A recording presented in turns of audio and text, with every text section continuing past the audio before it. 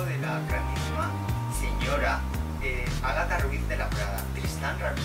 Bienvenido Tristán a la columna. Nos van a ver muchísimas personas de toda España y en todo el mundo. Por favor, quiero que nos cuentes eh, en qué consiste el concepto Agatha Ruiz de la Prada. Bueno, qué bien, qué ilusión estar aquí en esta super columna.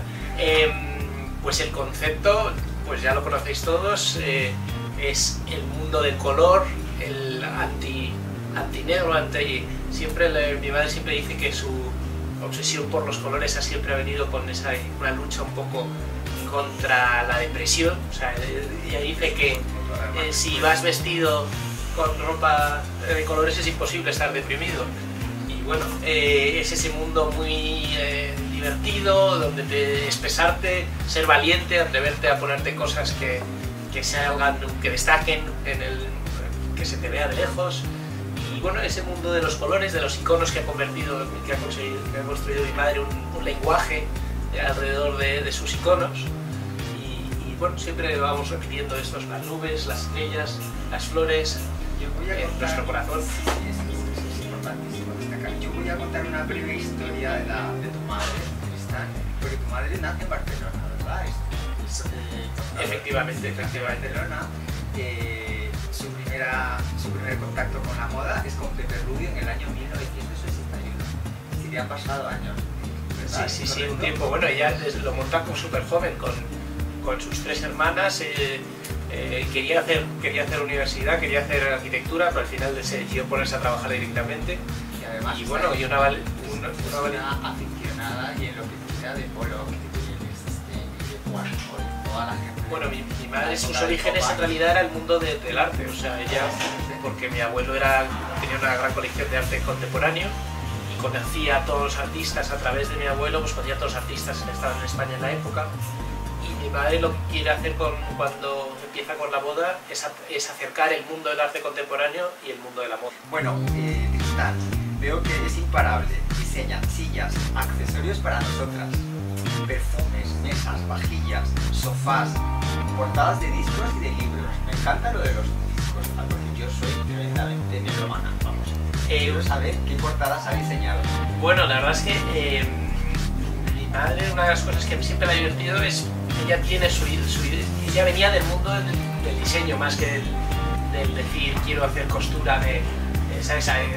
Eh, Los, diseñadores de moda pues pueden venir pues más del lado del sector de costura, del lado técnico de hacer patrones y tal, o más del lado un poco del arte, decir pues quiero hacer, eh, quiero ser creativo y, entonces- y hacer un diseño y, y puede ser ropa o puede ser cualquier objeto. Entonces, eh, ella lo que tr- desde siempre ha trasladado su diseño, se ha atrevido a hacer cosas que muchos otros diseñadores no han hecho, que es hacer objetos, todo tipo de objetos. Entonces, ella lo que le más le divierte es, Dar utilidad a los objetos, ¿verdad? Y darles no, y también eh, poder probar, eh, adaptar su diseño a cualquier objeto nuevo. O sea, toda cada vez que nos toca hacer un diseño nuevo, pues que hemos hecho cosas rarísimas, desde puertas blindadas, Sí, yo lo sé, eh, máquinas, la- neveras, lavadoras, y, es- y cada, vez- cada objeto nuevo que tenemos, pues el, el reto es decir, cómo, cómo aplicar nuestro diseño a este objeto, porque, porque algunos que son objetos que de primera son, son muy difíciles, que luego también tienen que ser útiles, tienen que poderse fabricar. y tal. Y, y bueno, pues eh, entre muchos otros muchísimos miles de proyectos que hemos hecho, pues sí, efectivamente un par de, de, de o sea, de, de álbumes, de las, de las, las portadas de álbumes de, de música, Luego, eh, de amigos la mayoría. que hay una niña, entonces yo creo que tu madre es fantástica decorando. Más alegría no le puede poner a una habitación,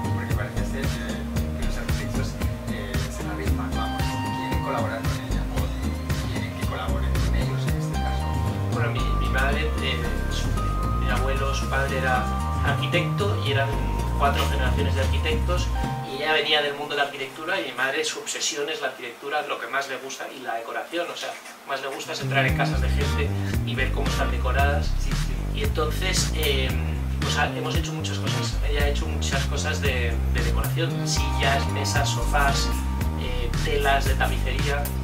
eh, música divina. sí, la música muy divertida.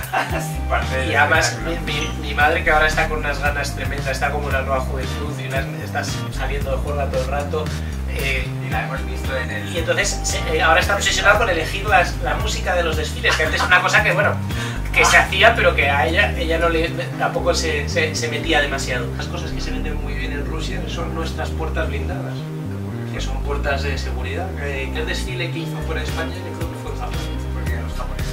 Les encanta. Bueno, les, les encanta porque el mundo del color, el mundo ese muy naif que tienen ellos. Incluso el problema a veces es que tenemos que somos demasiado japoneses para los japoneses, que no se creen que sea una marca no japonesa. Pero, pero sí. Y en Japón hace, hace años que vendemos muy bien. Porque además tenemos una, una gran socia en Japón, eh, con los japoneses que son súper eh, frikis y, y fans de todo a, a extremos. Y esta fue una gran clienta que le encantaba la marca, empezó a comprar le Entonces ya compraba tantas cosas que no se las podía quedar ella, entonces empezó a venderlas a amigos suyos. Luego montó una tienda online. Entonces la primera tienda online que teníamos era en Japón. Antes de, claro, de tenerla una en España, teníamos una tienda en Japón. Muchísimas gracias por, por dar esta entrevista. Y para mí es un honor estar aquí en el estudio de Agatha muchísimas gracias. Bueno, y qué maravilla que te has agatizado. Bueno, pues que, que sepáis que estoy vestida de, de Agatha. Las plumas y la camiseta rollo caftán me parece. Bueno, que sepáis que está aquí en el estudio.